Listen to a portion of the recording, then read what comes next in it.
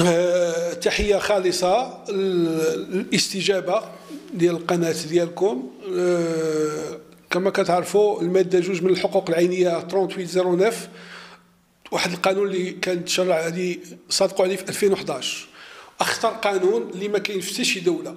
يعني هذا القانون هو اللي يعطى الصلاة كيعطي الصلاحية لشي واحد لا زور عليك. الملكية ديالك. وداز عليها أربع سنين ما بقاش عندك الحق تقاضيه.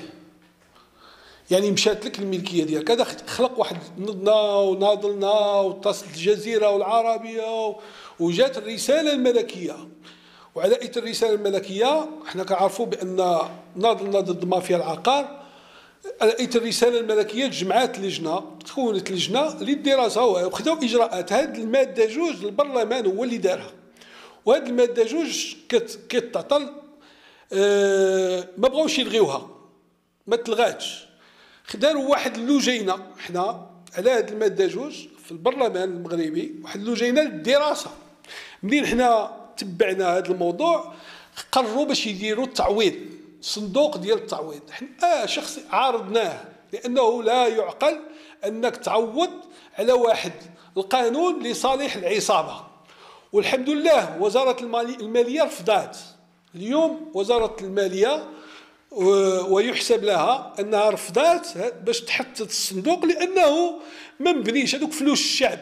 كيفاش أن واحد يسرق بقانون داروا البرلمان ومني يضيع مول الأرض خص الشعب هو اللي يعوض.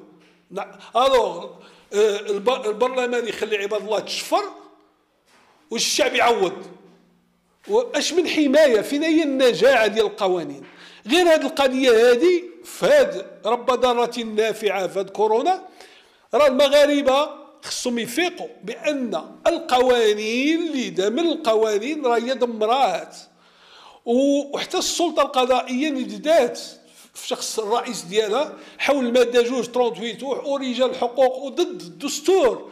مقتضيات الدستور ديال 5.35 اللي كينص على الحماية ديال الملكية ونحن في مملكة محمد السادس. هذه عندها ابعاد أبعاد آه، ما مفهوماش لتدمير الوطن. هذا هو التدمير. واليوم الحصيله الحصيله المؤكدة أن مغاربة العالم ما بقاوش يثقوا في المغرب في العقار اللي كانوا كيجيو كيستثمروا والعقار هو السند ديال الاقتصاد ديال أي دولة. فكيفاش أنك أنت كتعمل قوانين ما كتحميش؟ وللحديث بقية. تحياتي.